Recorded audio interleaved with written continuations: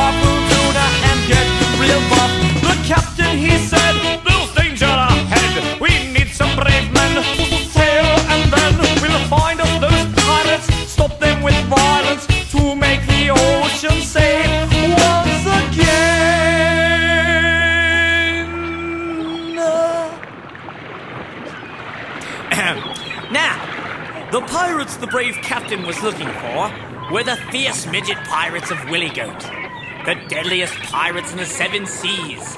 And although they were wee men, they had big swords and were known for gutting many and leaving few alive. The captain knew they were heading towards the Sandwich Isles to pillage the giant ham farm. The captain knew what he must do, and this is his story.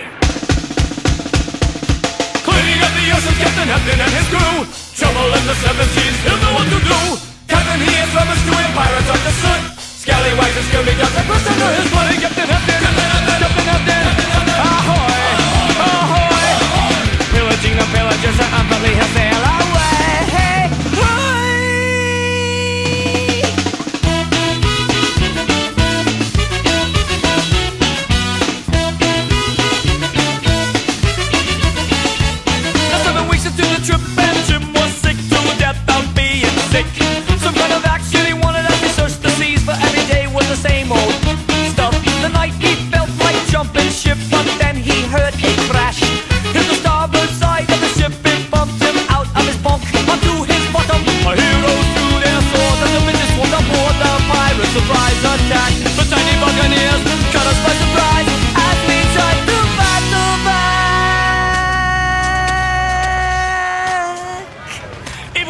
Was horrible.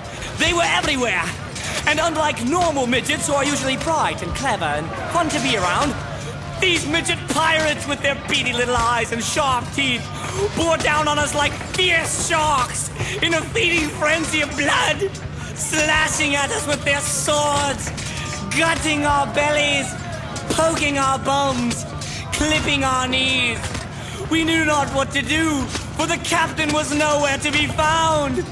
Where was the captain? Where was the captain? Where was the captain? Quickly got the yours captain and his crew.